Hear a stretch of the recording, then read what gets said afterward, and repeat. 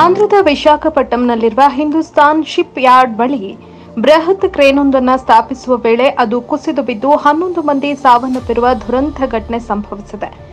ಈ ಘಟನೆಯಲ್ಲಿ ಇನ್ನೂ ಹಲವರು ಗಾಯಗೊಂಡಿದ್ದಾರೆ. ಗಾಯಗೊಂಡವರನ್ನ ಸಮೀಪದ ಆಸ್ಪತ್ರೆಗೆ ದಾಖಲಿಸಲಾಗಿದೆ. ಗಾಯಾಳುಗಳ ಪೈಕಿ ಕೆಲವರ ಸ್ಥಿತಿ ಗಂಭೀರವಾಗಿದ್ದು ಸಾವಿನ ಸಂಖ್ಯೆ ಇನ್ನಷ್ಟು ಹೆಚ್ಚಾಗೋ ಸಂಭವ ಇದೆ ಎನ್ನಲಾಗ್ತಾ ಇದೆ.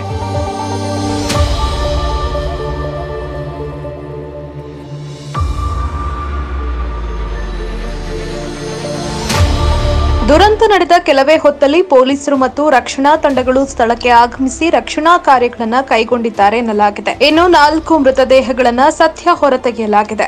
ವಿಶಾಖಪಟ್ಟಣಂನ ಬಂದರ್ನಲ್ಲಿರುವ ಹಿಂದೂಸ್ತಾನ್ ಶಿಪ್ ಆಡ್ ಸಂಸ್ಥೆಯ ಹಡಗು ತಾಣದಲ್ಲಿ ನೂತನ ಕ್ರೇನ್ ಅನ್ನ ಇನ್ಸ್ಟಾಲ್ ಮಾಡಲಾಗ್ತಾ ಇದ್ದ ವೇಳೆ ಈ ದುರಂತ ಸಂಭವಿಸಿದೆ.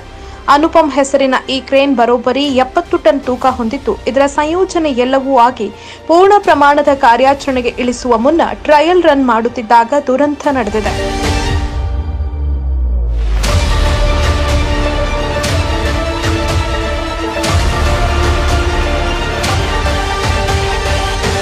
ದುರಂತದಲ್ಲಿ ಮೃತಪಟ್ಟವರ ಪೈಕಿ ನಾಲ್ವರು ಹಿಂದೂಸ್ತಾನ್ ಶಿಪ್ ಯಾರ್ಡ್ ಸಂಸ್ಥೆಯ ಉದ್ಯೋಗಿಗಳಾಗಿದ್ದಾರೆ. ಇನ್ನುಳಿದವರು ಗುತ್ತಿಗೆ ಆಧಾರದಲ್ಲಿ ಕೆಲಸ ಮಾಡ್ತಾ ಇದ್ದ ಕಾರ್ಮಿಕರಾಗಿದ್ದಾರೆ.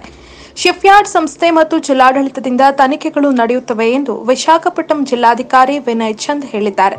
ಇದೇ ವೇಳೆ ಮುಖ್ಯಮಂತ್ರಿ ವೈಎಸ್ ಜಗನ್ಮೋಹನ್ ರೆಡ್ಡಿ ಅವರು ಘಟನೆಯ ಸಂಬಂಧ ಕೂಡಲೇ ಕ್ರಮ ಕೈಗೊಳ್ಳುವಂತೆ ಡಿಸಿ ಹಾಗೂ ಪೊಲೀಸ್ ಆಯುಕ್ತರಿಗೆ ಸೂಚನೆ ನೀಡಿದ್ದಾರೆ. ರನ್ ಟಿವಿ ನ್ಯೂಸ್ ವಿಡಿಯೋಸ್ ನೋಡಲು ಸಬ್ಸ್ಕ್ರೈಬ್ ಮಾಡಿ ಬೆಲ್ ಐಕಾನ್ ಪ್ರೆಸ್ ಮಾಡಿ.